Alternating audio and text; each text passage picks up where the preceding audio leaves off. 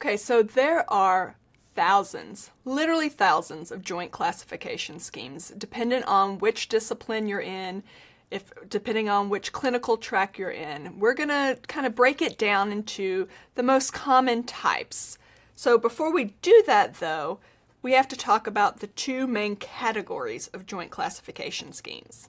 The first we're going to discuss is joint structure. So, the type and the organization of the soft tissue, specifically the connective tissue, that's going to actually keep the bones together.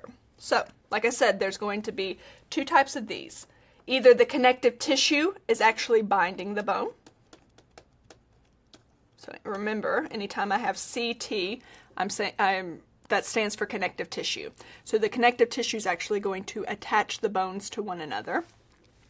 Or the other more common type is going to be the connective tissue is going to be on the edges and what's referred to as a capsule.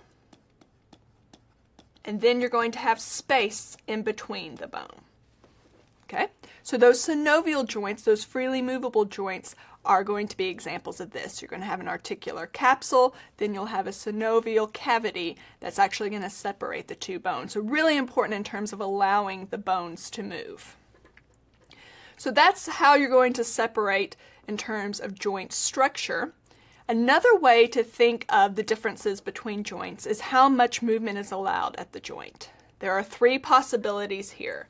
The first is going to be no movement whatsoever. So these are, you're going to find these in terms of those synchondroses, in terms of the epiphyseal plates, also in terms of the sutures of the skull. No movements allowed there, unless something is wrong.